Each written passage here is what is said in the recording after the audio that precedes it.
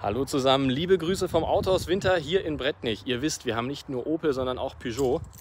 Den Schlüssel hier von Peugeot, den kennt ihr auch schon, aber das Auto noch nicht. Bleibt dran. So, den Schlüssel kennt ihr ja schon vom 308, vom 408 und vom 508. Aber den, den kennt ihr noch nicht. Der neue 3008, wie es sich für einen großen Löwen gehört. Drei große Tagverlichter als Krallenspuren, sieht richtig gut aus. Sportlich aggressive Optik, schöne Seitenlinie und für ein SUV ein sehr kurzes Heck mit einem Entenbürzel und einem großen Spoiler, der hier in der Mitte sogar noch mal die Luft durchlässt. Aber jetzt würde ich sagen, schauen wir uns von drin an. So, ich mache die Tür auf und sofort strahlt uns dieser schöne Curve-Display hier an. Nagelneu jetzt im Peugeot 3008 das erste Mal in der Designsprache zu sehen. Wir steigen mal fix ein.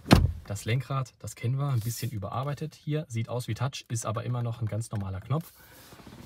Der iTagger ist auch schon bekannt und auch hier wieder eine schöne individuelle Linie, die sich überall durchs Fahrzeug zieht. Also wenn ihr hier mal reinschaut, überall schöne Designkanten, Stoff- und Carbonoptik, alles schön abgesetzt und dann dieser riesige schwebende Display hier.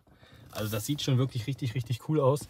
Ich würde sagen, ihr kommt vorbei, setzt euch selbst mal hier in das Steuer, macht eine Probefahrt und überzeugt euch selbst. Bis dahin, ciao.